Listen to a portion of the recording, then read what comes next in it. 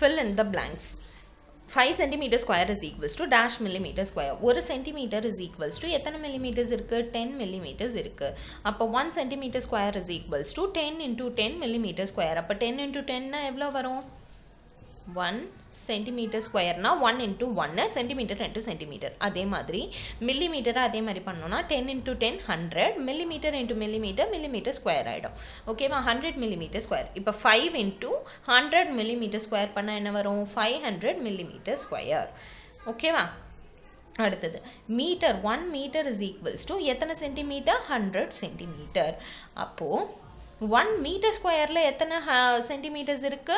Hundred into hundred அப்போ ten thousand centimetre square இருக்கு.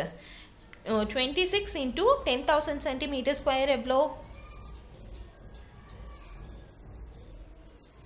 Two lakhs sixty thousand centimetre square ஓகேவா அடுத்தது. One kilometre is equals to thousand metres அப்போ one kilometre square is equals to எவ்வளோ thousand into thousand thousand into thousand எவ்வளோ வரும்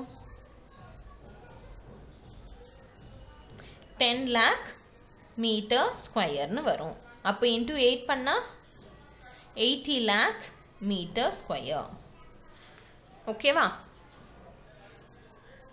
இந்த எல்லா ப்ராப்ளம்ஸுமே எப்படின்னா எப்படி வந்து ஒரு யூனிட் வந்து இன்னொரு யூனிட்டாக கன்வெர்ட் ஆகுதுன்னும் போது அந்த யூனிட்டோட வேல்யூவை டபுளாக மல்டிப்ளை பண்ணும். ஏன்னா ஸ்கொயரில் இருக்கிறதுனால நமக்கு நார்மல் கன்வர்ஷன் நமக்கு தெரியும். ஒரு சென்டிமீட்டர்னால் எவ்வளோ மில்லிமீட்டர்னு நமக்கு தெரியும்.